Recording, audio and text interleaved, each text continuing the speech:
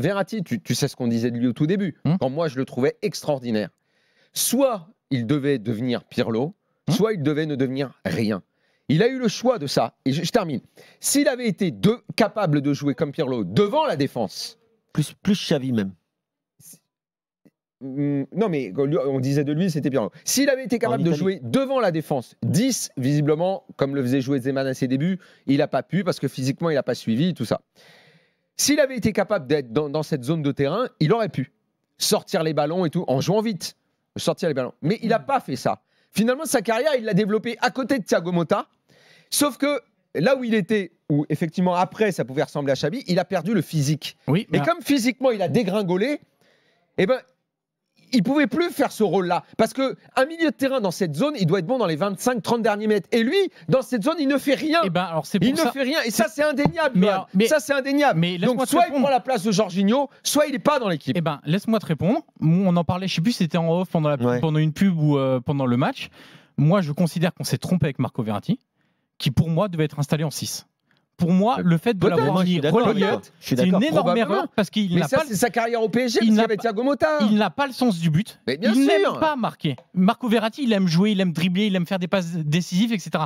Il n'aime pas marquer. Et les de milieux Xavi. relayeurs, C'est pour ça c'est un vrai problème. Et c'est pour ça que moi, je pense effectivement qu'on le juge comme un relayeur, alors qu'on devrait le juger, mais ça, c'est une erreur Un qui a été faite sur le profil, comme un milieu de terrain devant la Un défense. régista. Parce un que, ce que- régista, lui. parce que ce que tu appelles, pour moi, il n'a pas la qualité du Julien de Pirlo. Bref, c'est les comparaisons Donc- toujours un peu, Ouais. un peu Non, mais c'est pour ça qu'en plus, dans ce rôle-là, il n'aurait même pas pu être totalement bon parce qu'il a pas Non, parce que t'as pas besoin d'être aussi bon comme Pirlo sur le jeu long pour être bon devant la défense, ouais, pour être utile bon. devant la défense.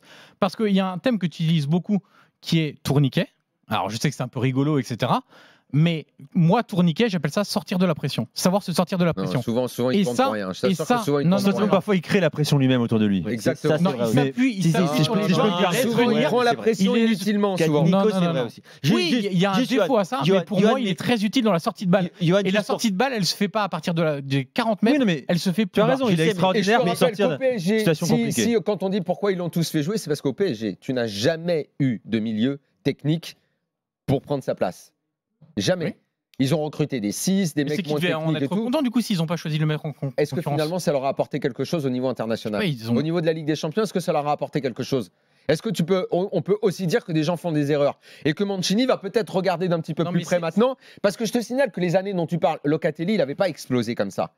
Locatelli, c'était un mec qu'on savait pas parce qu'il y avait eu des échecs dans sa carrière, parce qu'il est reparti dans un club tout petit et que là maintenant il est en train de se montrer. Mais honnêtement, j'attends Mais- de voir ce qui va se passer. Non, mais- il y a un problème, Mais Daniel, si en c'est quart que- de finale il remet Verratti, je dis ok Roberto, Tu c'est ton choix. Mais moi sur ce que j'ai vu là, pour moi c'est une erreur. Quand pour tu moi vois, c'est une erreur. je finis juste là-dessus. euh, tu Et vois, après, quand on- on- après, on arrête voilà. sur Verratti. Quand tu dis, euh, quand je te dis que tu polarises beaucoup sur, euh, sur Marco Verratti, c'est que là, tu as expliqué clairement dans ta démonstration que si le PSG ne va pas plus loin ou ne gagne pas la Ligue des Champions, c'est la faute de Verratti.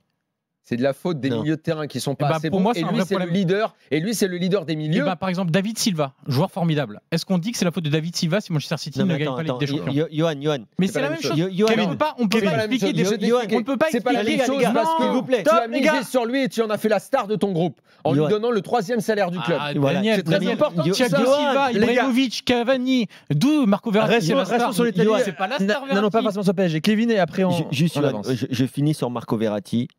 Et ça, c'est indéniable. Marco Verratti était meilleur à 19 ans. Et aujourd'hui, il a 28 ans. Donc, il y a un problème. Excuse-moi, il y a un problème dans une carrière d'un joueur Gros quand problème. à, 10 à 28 ans, t'es bien moins bon qu'à 19. Et que Alors, tu Ou peux t'es- pas finir t'as un le même match. niveau. Tu peux même pas finir un match. Et tu n'as que 30 combien Non, mais- il, a, il a même pas Ça, 40 ça, c'est un sélections. truc qui m'ennuie. Kevin, Maintenant, Kevin. j'adore le joueur. Allez les gars. J'adore le joueur, mais- J'aime bien même. Kevin, mais ça c'est une punchline. Ça Mais c'est une non, c'est punchline. pas une punchline, c'est une vérité. Kevin, tu l'as vu combien de fois avec Pescara à 19 ans? Explique-moi. Il y a- Combien de il y a- fois tu il y a- l'as vu à il y a- 19 à ans quel âge Combien de Je fois parle vu PSG, moi? Parlons du PSG. Moi, je quand te parle du au PSG. meilleur quand il arrivait. Souvenez-vous, mais vous racontez n'importe quoi. Souvenez-vous combien de fois Ancelotti le détruisait pour ses matchs. Mais non, quand si il au est si. Si Moi, tu veux pas 19 à ce je te dis moment-là. à 20 ans, si Jusqu'à tu veux. 2015, il y a jusqu'à parce qu'il y a 2015, peut-être eu un effet de surprise aussi quand vous l'avez découvert. Il y a eu un Jusqu'à effet de surprise. 2015, il est encore super bon. Parce qu'il y avait un jugement favorable, qu'il était jeune et vous dites putain, ce gamin a de je l'or te dans dise à les pieds. 19 ans, Et depuis, vous 20 savez qu'il a tu une hygiène de vie et donc forcément votre vision elle a changé. Mais Bah, C'est pas moi qui ai changé. Allez, je vais Votre vision, votre vision. Mais c'est pas ma vision, c'est son physique qui a changé.